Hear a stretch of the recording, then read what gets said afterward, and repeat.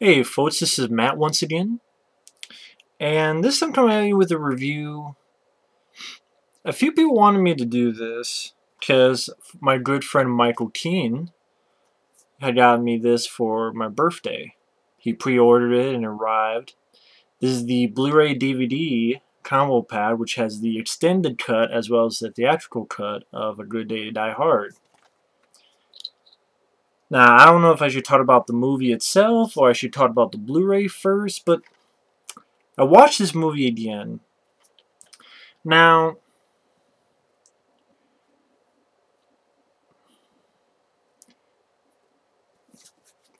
the thing about my reviews is pretty much every review I've done is how I honestly think on a movie. And it's what I still think on a movie. I'm the same guy that still enjoys Cowboys and Aliens and Green Lantern, and I still don't like Dark Knight Rises and Machete. I still don't like Predators and Avatar, but I still enjoy Skyline. I don't think I reviewed that. I. I still enjoy Battle Los Angeles and Dredd 3D and The Raid Redemption. Yeah, I still and Ninja Turtles 3 is still one of the weirdest guilty pleasures for me, and I still, you know, I don't like that film. Even though that's one of those few films that I liked when I first saw it, but time changed, and you saw me rant on that. There's been a few times where I've reviewed something, and then later on I've changed my mind on. Expendables 2.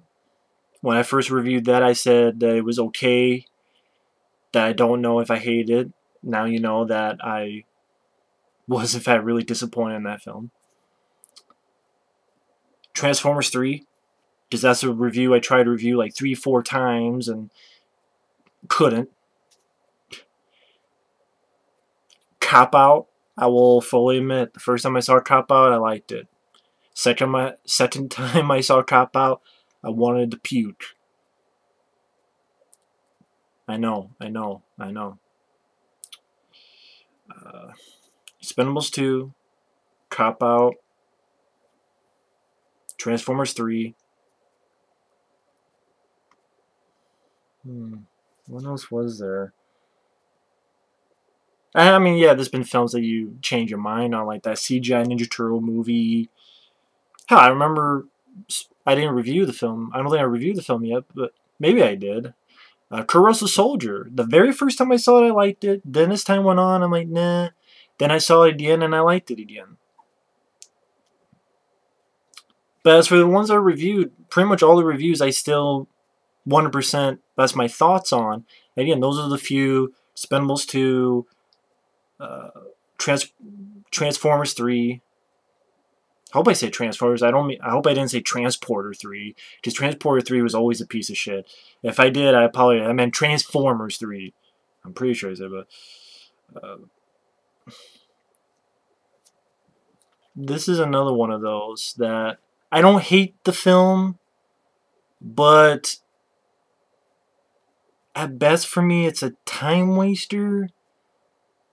And seeing this film for a second time, I can really, really see why people hated this film. Compared to the first three films, holy shit.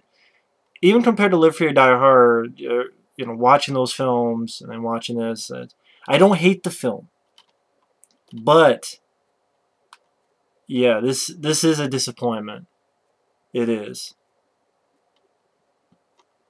It, it ranks up with the you know, the Expendables 2, Transformers 3. That you know, these were films I realized I looked forward to, and then I kind of went here. But this one I was more positive on my review, and the review's still up. I'm not taking it down because that's what I honestly did. Uh, it, this was kind of tough to sit through the second time around, and maybe I'll get to that. But let me first get on this Blu-ray. This extended cut is bullshit. This film, it's a couple minutes longer. I have no idea what the fuck they put back in here. Someone said that the car chase was extended a bit. I didn't notice. There's, there's two things I did notice. One, they took out shit. They took out Mary Elizabeth Winstead scenes at the beginning and end of the movie, and also the scene where she calls her father, John McClane, during the car chase. Mary, Mary Elizabeth Winstead is entirely taken out. I don't know why she was not the. I don't know why. I really don't. So they took her out. The only thing I could notice that was added back in was in the beginning when you first see John McClane shooting. Uh, this I like this little bit of business where it's more a little bit more emotional when he finds out and he shoots at the gun range and it's much more emotional. He's like, God damn it, God damn it, and it shows a little emotional. He's angry and a little bit glassy eyed. I'm like, why wasn't that in the movie? The deleted scenes are really not much, except one, which I'm like, again, why they take this out? There's another fight scene. And no, it's not with the big guy at the end. This is when they're looking at the trunks of the car. They find the weapons. They find a guy, and Jai Courtney and Bruce Willis fight these thugs. And if you see one of the trailers, you see a scene where like it seems like Bruce Willis punches a guy. That's in this little little fight scene that they cut out, which I don't know why they cut that out. But no, you know when you see the trailer, you saw sort of those uh, alternate tapes that you didn't see in the movie. That's not in the extended cut. So the extended cut, I know my friend Effie was talking to me don't worry about the extended cut. I mean, the theatrical cut is, you know, just because I don't know what the hell else they add back in. It's not violence. It's not harsh language. Because I didn't fucking notice any of it. I really didn't. I didn't know the differences. You can feel free to type down what the exact differences were. I tried to look it up. I couldn't fucking tell. Except those little bits that I mentioned. And in that little extended fight scene, that's not in the extended cut, it's in the just the separate deleted scenes portion. The only bit in the extended cut I noticed was Mary Elizabeth was just taken out, and that little bit at the beginning where he yells "God damn!" and you see a little bit of a little bit of emotion on Bruce Willis's face. That's the only two differences I noticed in the extended cut. And the film ends with, you know, the shot of Chernobyl. It doesn't have Mary Elizabeth Winstead and them at the airport and stuff. So I don't know what the hell is extended. I have no idea. The picture quality for a brand new film is half-assed because I for those who have seen this, tell me if I'm wrong. Did you notice a lot of grain, like pixelation grain shit on this? I swear there are times where, especially when they get in the Chernobyl scene, and there's like the scene where they find the the, the muscle guy is you know the scene which I like this scene where they push there's these gas lines and they push it and they they shoot it and has a big fireball and Bruce Willis is like what the hell were in those grenades. That scene I swear there's a lot of like grain like pixelation grain. I'm like why? This is a brand new film. Someone said that it was shot in 35 millimeter. I don't know if that's the case but the picture quality is not as pristine as it should be. I shouldn't be seeing that much fucking grain pixelation. I don't know what it was. Just maybe I'm the only one, but I swear. Now, features, it has a bit of features. It has Making It Hard to Die, which is an hour-long making of. Which, really enough, you don't see a lot of Bruce Willis talking about the film. Really enough. But it goes pretty in-depth on the making of the film. It doesn't talk about it does not talk about the genesis, like how it came about, but it talks about you know some of the stuff I, like I said time waster because I do like some of the action scenes the mixture of practical some practical effects and seeing how that was done. You have some actual stuntmen. Others two of a kind uh, back in action little featureless anatomy of a car chase this is almost half an hour long about that car chase and I'll get to that more because John Moore is a fucking hack, which I wish. I, John Moore never direct a film ever again. Never, ever, ever. Please retire from planet Earth. Commentary is sent only by director John Moore and first assistant director Mark Cartone. John Moore, go fuck yourself. Uh, but yeah, uh, bottom line, this is standard cut. Just watch the fucking theatrical cut. The standard cut doesn't do anything. It instead And if it added shit, I, did, I don't remember what the other shit. It's longer because they took out the Mary Elizabeth Winstead scenes, and then the film's like three, four minutes longer. I don't know what the fuck they added in. There might have been one more little scene with Cole Hauser, maybe. And I don't fucking remember what the hell else. I mean, he's got a lot of features.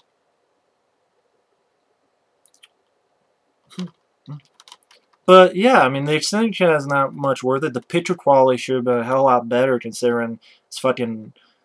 Well, I should know, 20th fuck phase. And as for the film itself, to sort of explain. Watching this film again, I understood more what people were saying when they were complaining about this movie. Seeing it a second time, it was much more noticeable. And I can understand now why people hate this film. And that's sad for me to say. First off, it's sad for me to say because I fucking was done ho about it in my first review. And it's rare for me to do that because believe me, I've seen Dark Knight Rises more than once. And I've seen fucking Machete and Predators and Dark Knight Rises. Said that right. Prometheus, fucking, you know, you go down the list. I've seen them more than once. I, all my other reviews, I remember I reviewed Cop Out once, and I deleted that review because I'm like, this is fucking bullshit. That's the only time. Cop Out. That's the only time. If I deleted any other videos, it's because of, you know, copyright. Uh, copyright. But that's one of the only ones I did because of I changed my, my uh, mind on it. Cop Out, Expendables 2 is still up, but even that one I was like, I'm not sure. Transformers 3, I was like all over the place. And this film. It's it's rare for me to do that. But that's the part that's the point of my channel is I'm going to be honest. And watching it again Bruce Willis, even when he's slumming it, I can watch Bruce Willis. Like I can watch Bruce Willis in fucking Hudson Hawk. I still like Hudson Hawk. I didn't want. I, I like the whole nine yards. Crying out loud, I.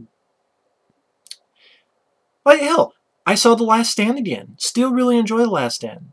Bullet Head still sucks ass, but I don't mind Stallone in it. But the Bullet Head still sucks ass.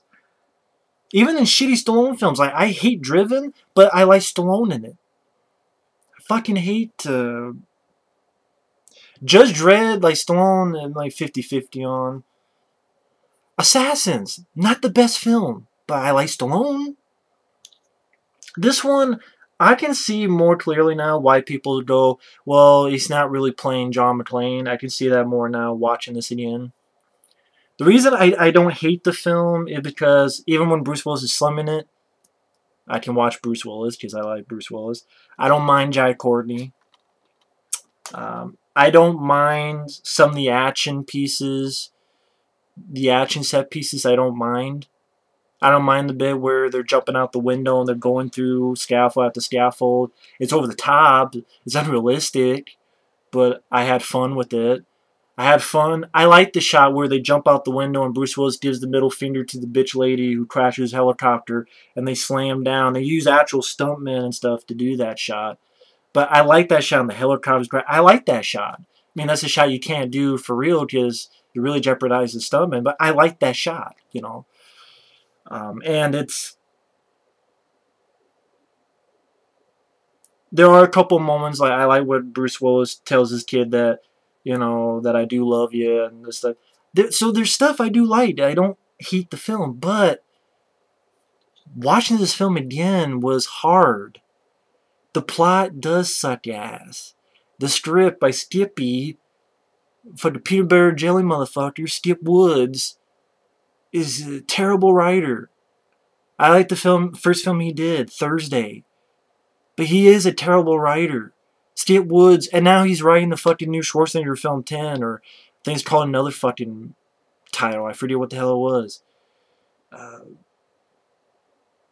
Skip Woods retired. John Moore, the fucking behind the scenes, he just seems like a fucking dumbass. You know, behind the scenes, oh yeah, fucking awesome, yeah, yeah, we got it. And, oh, I wanted to shoot this film handheld. Uh, we gotta be inside Die Hard. And we, we gotta, what the fuck did he say? oh, we gotta do handheld. People are realistic. It's not realistic. No one is moving like this the whole fucking time.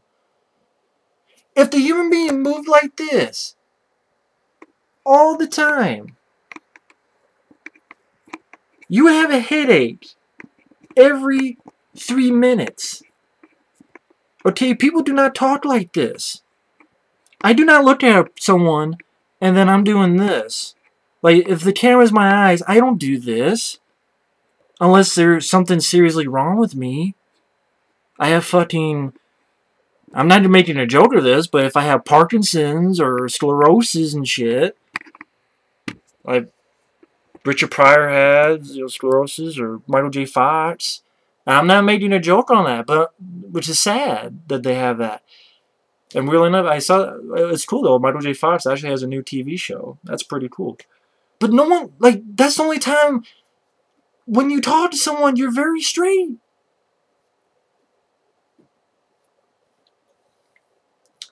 The plot is horrendous. Even the plot in Live Free Die Hard is hell lot better because I like the cyber terrorism angle. I don't like fucking Timothy. Fantastic. It. But the cyber terrorism, I like the fact that he could do it on a computer and could change it so all these cars converge and makes for some interesting action scenes. And Len Wiseman, I his Total Recall remake still sucked, and I saw that more than once. To give it a fair shake, it sucked ass the second time. Just as much as the first time. But he knew how to direct action scenes in Live Free or Die Hard. He really did. And the plot is more interesting. And Justin Long I like more than Jai Courtney. I don't mind Jai Courtney, but Justin Long just had more of a personality. I don't mind Jai Courtney, but he doesn't have much of a personality. And the script in this is fucking shitty. John McClane does not have much funny stuff to say. I still don't mind the business where he punches someone and he goes, "You think you understand? You really think I understand what you're saying?" And but it's nothing really clever or witty. It's nothing even a fingernail close, not even a an inch on the ass of any of the three original diehards. They blow the shit out of this movie. Out of his ass. It just John McClane says the same thing. I'm on vacation four times or so. Okay, we did it. It wasn't funny the first time. They steal line from Live Free or Die Hard where they go, was that your best shot during the cartoon? Like, why did you steal that line from Live Free or Die Hard? What the fuck? Moscow. I'm sorry. I have nothing against Moscow, but it's a boring place to put your movie in. It just reminds me of Steven Seagal direct-to-DVD shit. Where he goes overseas to Budapest or uh, fucking Buddha whatever or some other fucking name of a country and I can't barely pronounce. And the villain with the fucking tap dancing shit. Tap Dance to Hell. John Moore is a hack of a director. The Omen remake sucked. Fucking Max Payne in my ass. Sucked ass. Fly the Phoenix. Fly into the fucking sun. Behind Enemy Lines with Owen Wilson I still like. And sad to say, I could say I like Behind Enemy Lines probably more than this. And that's sad. That's fucking sad. That one, I thought... Again, I don't... I, Bruce Willis, even when he's slumming it, which I'm like, Bruce Willis, come on, you should have known something was up. I know they're making another one. They're saying Tokyo, and I'm like, fuck, you know, go back into the John McClane in a box, you know, in some type of box like claustrophobic scenario or something, and Get a better writer and director. Get Renny Harlin back. Get John McTiernan when he gets out of jail. Or fuck, get someone else. I mean, hell, get fucking Stallone to direct the new Die Hard film and have him be the villain. I wouldn't mind that shit. Like, even the first Expendables film, it has problems with the shaky cam and shit, but I saw Expendables and I still enjoy it, the first one. But this one, like, the first 15 minutes, I'm like, man, uh, this is really boring. And the shit with the Russian cab driver is not really that funny with the Frank Sinatra shit. and then the car chase, which again they spend like half hour featurette, and oh yeah, you know, hopefully we get this right. It'll be a car chase for the ages. Maybe it could have been if you didn't shoot it in your dumbass handheld format. John Moore, you fucking hack. Please get the fuck out of Hollywood. Will you douche battery of epic proportions? Get the fuck out of here. Please retire, never make a movie again. Michael Davis, who does Shoot 'em Up. The director who did Tournament. Pierre Morel, who did Taken and From Paris with Love. Let them have a crack and die, not this fucking idiot when you're shaking the camera and sometimes I'm like, wait, what the fuck's going on? After fucking rewind it again. You know what you could have done? Learn from Ronin. You ever seen Ronin with Robert De Niro? I believe that was John Frankenheimer. How they handled those car chase scenes. There's bits of it I like. I like when the big fucking thing crashes into this damn truck and it flips over. I like some of the practical stuff. But there, there are a lot of car chases that are, are better than this. It's not one for the ages. Hell, the car chase Die Hard with a Vengeance. With a taxi cab. I said through the park. Way better. Hell, the car chase in Live Free Die Hard where they're being chased by the helicopter and they fuck up the guy in the helicopter and they damn the whole garage and then he drives that car into a fucking helicopter. Like, yeah! Like, Live Free Die Hard, that's a film that I saw again and again and I still enjoy. I hate to be the only font, but I still enjoy. Yeah, I like the... And that's an unrated version that I actually thought... I actually heard Motherfucker at the end. There's some stuff added that I liked. That's an unrated version that I don't mind. This one is this extended cut is bullshit cut. Because I didn't see shit. I didn't see much of shit. Uh,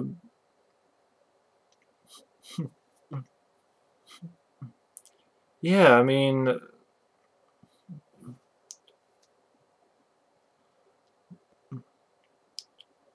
this one it was it was kind of tough to sit through the second time around, especially when I'm I'm sitting at home and I'm I'm thinking back to the other Die Hard films, and I saw Live Free or Die Hard in a theater and loved it. Then I seen it at home, and I still enjoy the film. I did a review for the film, and hell, I've this is a film I've defended. I defended this film. When I talked to John Zero Cool, and I talked to my friend Effrey. Hell, I did another video with Effrey talking about it. It was a couple parts. Defending the film and watch this film again, I just feel like an asshole for defending this film so much because at best it's a time waster, but Red with Bruce Willis is much better than this film. The Fifth Element, Last Boy Scout blows the shit out of this movie. Away. Blows it away. Now, now I want to see Demolition Man. Just to fucking... it's just really sad that this year of 2013, I mean, this is a film I really wanted, and I did, and then I saw the second time, it just, The Last Stand I still like, especially the second half, the first half is a little slow, Bullet to the Head sucked, and this one is a, is a time waster, but still disappointment. In fact, I probably put The Last Stand over this film. Because that one, seeing it again, didn't make me have this feeling. Like this one did. It just, and again, I could watch this film. Like I, even though the fucking car chase scene is just could have been handled so so much better if you had a competent director. There's bits of it I like. I don't mind Jai Courtney, but I think hell, Justin Long was better in Live Free Die Hard. He was funny and had personality. Bruce Willis, like I don't know, he needs him or someone else needs to come up with better dialogue for John McClane. And There's a scene where he's hanging off the helicopter and it's CGI. Watching that, I'm like, oh my god. I didn't even notice that in the theater. It was much more CGI when he when he lets go and when he's flying through the glass. I like the second part because it's an actual person. But the beginning when he's like hundred feet away, slowly. Like he, he's hundred feet away, slowly going, and then it's like, okay, now here's there's the CGI, and now here's the real John McClane. I'm like, oh shit, man.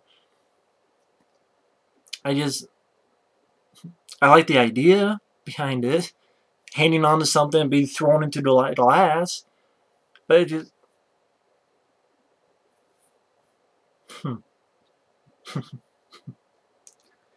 God damn it. This film surely did not survive second viewing. I mean, I again, I don't hate the film. I didn't watch it as a time waster, but it's definitely not up to snuff with the Die Hard film. And uh, let me put it this way: I am not defending this film anymore. I, I can watch this film as a time waster. I can watch the film and go, eh, but that's what I'm probably gonna put like review slash rant because it's a lot of me ranting, but it's also me reviewing, and it's this is probably one of those films I can't put in good conscience in my top ten or anything. It just because it, just wouldn't feel right. I just and this is a film I know I was defending so long to people and. You know, someone was like, oh, cinema snob hate it. It's like, oh, it's cool to hate it. Again, I don't hate the film, but it, it is a big disappointment. Watching this again, I'm like, man, I don't watch the three Die films ten times in a row and not give a shit. Live Free Die Hard, I can watch it again and. I'm like, okay, oh. Hell, I enjoy Indiana Jones and Kingdom Crystal Skull. I can watch that again and again. Hell, I reviewed that. But this one, damn. Again, this is one of those those few films that watching a second time just did not hold up for me. That doesn't really happen to me as that often. The CGI Ninja Turtles film it did. Expendables 2 it did. Transformers 3 it did. Cop Out it did. Really enough, three of them are like fucking films where Bruce Willis in it. What's next? I watched G.I. Joe 2, and then I fucking love it, and then I hate it. Or Red 2. Or... I know one thing. I'm definitely going to think more and more about a film before I review it because it's kind of embarrassing. But yeah, John McClane's dialogue. I can't even think of anything that was remotely memorable dialogue-wise. I mean, you look at Die Hard 2. What sets up the metal detector first? Lead in your ass or shit in your brains? Or, uh, even Live Free Die Hard. You just kill her helicopter with a car. I was out of bullets. This one,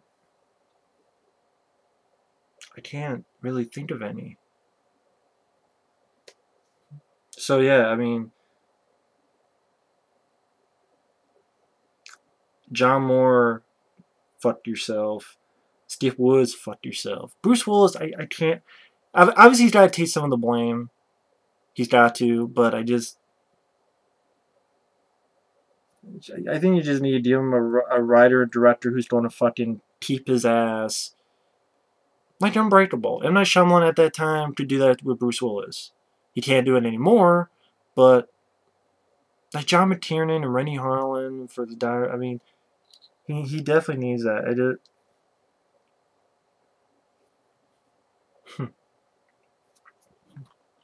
I know it's weird, but I and the Blu-ray, the picture quality, again, maybe it's just me, but I know it's like grain, it's pretty fucking grainy pixelation, especially getting to the Chernobyl third act. Uh, the extended cut is not worth a fuck. Believe me, if there's other noises I can't fucking remember, this is just... Yeah, let's watch this again. And believe me, no one changed my mind on this. Because no one does. You know, I'm the type of again, I'm the weird guy that does stuff, but but yeah, the the general consensus of this movie. I, there's a lot of movies I've defended. I still defend. This one, I, am not defending anymore. Hell, I I will defend Cyborg or Van Damme to and Hard Target and fucking Cobra and Rambo three. But Dire Five, you know what, fuck that. I'm going to say Good Day to Die Hard. I don't want to call this Die Hard 5 anymore. Good Day to Die Hard, which is a shitty title. It's up there with uh, Cop Out, Expendables 2, and Transformers 3, where I, I did look for a Cop Out, because, hey, Kevin Smith, I like, Bruce Willis, cool, and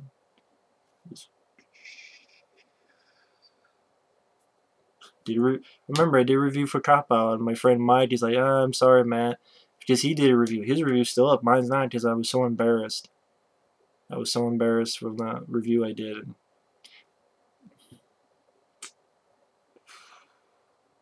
Fuck. Anyway, yeah, I mean, it, it, it was boring at times, and I get why people hate this film now. I really do. Again, I don't. Who knows? I say I don't hate it. Maybe by the end of the year I'll start hating it. But I just, as of right now, there's a couple scenes I enjoy. Even when Bruce Willis is slumming it, I can still watch, watch him, even slumming it. But yeah, this is not up to Die Hard standards. It really isn't. And again, this comes from a guy that likes Indiana Jones and Kingdom Crystal Skull. This comes from a guy who still likes Battle Los Angeles and fucking Cowboys and Aliens and Green Lantern. So, and I still don't like, you know, some popular. But yeah. Anyway, that's uh, sort of my Blu-ray review rant on A Good Day to Die Hard. Thanks for watching. Take care, and now I'm very embarrassed. John Moore, punch him in the face. If you see John Moore, Steve Woods, punch him in the face. No, not really, no. I don't issue any death threats for, it's only a movie. But John Moore, please retire. Please retire from Hollywood forever. Steve Woods, retire from Hollywood forever. Please. Pretty please. John Moore, you stupid fucking... Yeah, uh, do it handheld. I want the whole movie handheld because it's more realistic, really. Then your reality must be different from mine because my reality is not like this all the time. Yeah, hit headache all the time. Maybe that was his problem. He had a headache the whole movie. No one noticed. Anyway, thanks for watching and take care. Later.